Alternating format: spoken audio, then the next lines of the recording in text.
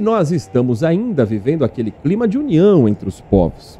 Acabamos de viver os Jogos Olímpicos e hoje começam os Jogos Paralímpicos 2024.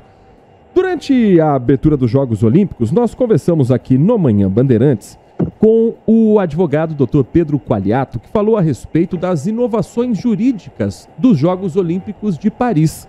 Passado o período da disputa, iniciada agora a nova competição, Jogos Paralímpicos, nós vamos retomar o contato com o Dr. Pedro Qualiato, a quem agradecemos demais pelo convite, por aceitar o nosso convite, por estar conosco na manhã desta quarta-feira. Doutor Pedro, muito bom dia, é um prazer ouvi-lo aqui na Rádio Bandeirantes. Bom dia, Heitor. Bom dia a todos os ouvintes da Rádio Bandeirantes. É um prazer participar do programa novamente. Falávamos na abertura dos Jogos Olímpicos das inovações jurídicas, do código de ética, de como juridicamente também os Jogos de Paris teriam um novo capítulo. O senhor entendeu que esse avanço jurídico foi bem recebido pela comunidade esportiva, pela comunidade internacional e eles também são aplicados agora para os Jogos Paralímpicos? Heitor, uh, sem dúvida a comunidade uh, olímpica recebeu muito bem as inovações jurídicas.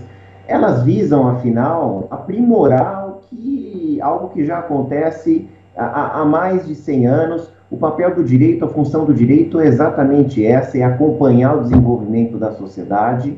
E, e, e, e esse, esse desenvolvimento legislativo e jurídico foi muito bem recebido e eu acredito que trouxe uh, um brilho maior aos jogos, proporcionando esse, eh, esse espetáculo que a gente teve uh, nos Olímpicos e agora o mesmo se aplica para os Jogos Paralímpicos uh, que começam hoje lá em Paris. Entre essas inovações, o que, que o senhor poderia destacar que também serão aplicadas agora nos Jogos Paralímpicos, doutor Pedro? Heitor, falando de Jogos Paralímpicos, incentivo ao esporte paralímpico e nível nacional, a, a gente tem uma série de leis uh, aqui de fomento ao esporte que visam desenvolver o esporte paralímpico no Brasil. Tá? Uh, são leis que já existem já há algum tempo, então elas já estão num nível de aprimoramento mais avançado, e graças a essas leis, tanto o esporte olímpico como o paralímpico tem o suporte uh, do governo federal, do governo, dos governos estaduais e municipais e também dos próprios particulares, das empresas que podem firmar parcerias com as autoridades públicas visando uh, o, o, sustento e a manutenção de projetos ligados ao esporte. Heitor. Agora, passado o período dos Jogos Olímpicos, a gente já começa a pensar em Los Angeles 2028, a próxima edição dos Jogos Olímpicos que vão ser realizados nos Estados Unidos. Tivemos grandes exemplos de medalhistas, nomes que se tornaram agora históricos: Rebeca Andrade, Beatriz Souza, Isaquias Queiroz, Raíssa Leal, tantos outros nomes. Mas em 2028 ainda tem um período de preparação. Como é que o senhor vê por exemplo, as leis, como a lei da loteria, que é um mecanismo federal para financiar o esporte olímpico brasileiro, nesse período de ciclo. Porque quando o Brasil ganha uma medalha, quando o Brasil sobe no pódio, é aquela festa, todo mundo enaltecendo os atletas. Mas passado esse período, até 2028, o que, o senhor entende que nós temos na lei que pode proteger esse atleta para que ele tenha recursos suficientes e condições de treinamento para fazer com que o Brasil se torne cada vez mais forte nos Jogos Olímpicos, doutor? Doutor, é, primeiro é importante esclarecer que essas leis de fomento ao esporte, elas não servem somente ao esporte olímpico de alto rendimento e o paralímpico de alto rendimento. Elas também visam o desenvolvimento do esporte como meio de inclusão social, esporte como educação, esporte lazer. Então, é, é, elas servem para todos os tipos de projetos. Falando do esporte paralímpico, uh, a gente tem a lei das loterias, que foi a primeira, a pioneira no sentido de, de, de, de ser customizada e no sentido de destinar uma verba especificamente para o Comitê Paralímpico Brasileiro e também para o Comitê Olímpico Brasileiro. É uma verba significativa de toda a arrecadação das loterias no Brasil. A gente está falando aí em 26, são 26 anos, foram 17 bilhões de reais destinados ao esporte.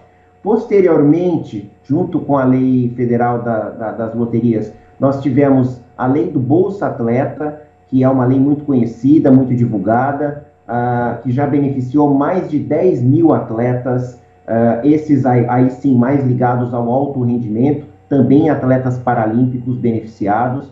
Nos Jogos de Verão aqui que nós tivemos recentemente, praticamente 90% dos atletas receberam a bolsa uh, dessa lei federal. Uh, a, o valor da bolsa varia entre 500 reais até 18, 16 mil reais para atletas de alto nível, alto rendimento.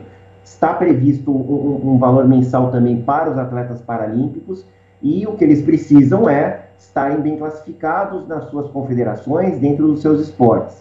Finalmente, além do Bolsa Atleta e além da lei das loterias, a gente tem a lei de incentivo ao esporte, que é um pouco mais recente, uh, e que trouxe uma inovação, que é a parceria público-privada. Ela possibilita que as pessoas jurídicas e pessoas físicas destinem um percentual do seu imposto de renda para projetos esportivos uh, pré-aprovados pelo governo federal, uh, que vão poder se beneficiar dessa verba, vão poder utilizar essa verba para o fomento do esporte. De novo, esporte lazer, esporte educação, esporte meio de inclusão e esporte de alto rendimento, onde se inclui esporte paralímpico e o esporte olímpico.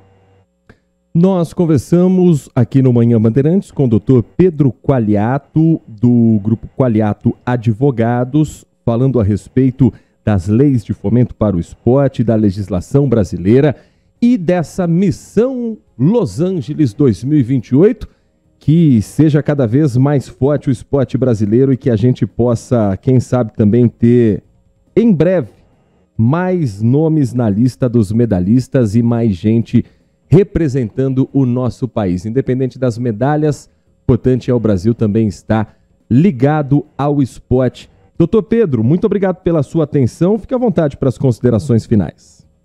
Heitor, é, eu que agradeço a participação. É, apenas lembrando né, que para o próximo ciclo olímpico, a gente precisa, claro, uh, dar uma destinação correta a essas verbas, Muita gente me pergunta, mas será que há uma fiscalização, há uma auditoria? Sim, há uma auditoria. A Controladoria Geral da União, o próprio COB, o Comitê Paralímpico Brasileiro, eles fiscalizam a destinação destas verbas, tá? E claro, quem sabe assim possamos multiplicar os nossos atletas, as nossas atletas que foram verdadeiros heróis e heroínas agora nas últimas Olimpíadas, Vamos torcer para que tenhamos mais Rebecas Andrades, mais uh, Isaquias e mais uh, Raíssas uh, ganhando medalhas e uh, representando o Brasil no orgulhando e nos orgulhando bastante, como estão fazendo. Muito obrigado, doutor Pedro Qualiato. Sempre um prazer ouvi-lo aqui dentro do nosso Manhã Bandeirantes. Jogos Paralímpicos que começam hoje. Cerimônia de abertura acontece às 3 horas da tarde, pelo horário de Brasília. São 184 delegações do mundo todo e com o Brasil sendo uma das principais delegações. O Brasil nos Jogos Paralímpicos é um fenômeno, sempre conquistando muitas medalhas. São 280 atletas entre 16 e 64 anos, a segunda maior delegação da história do país, só perdendo para 2016, quando os Jogos Olímpicos foram no Brasil, foram no Rio de Janeiro. 40%, pouco mais de 40% de mulheres formando essa delegação dos Jogos Paralímpicos. Fica aqui a nossa torcida também pelos grandes atletas, pelas grandes mulheres que representam o Brasil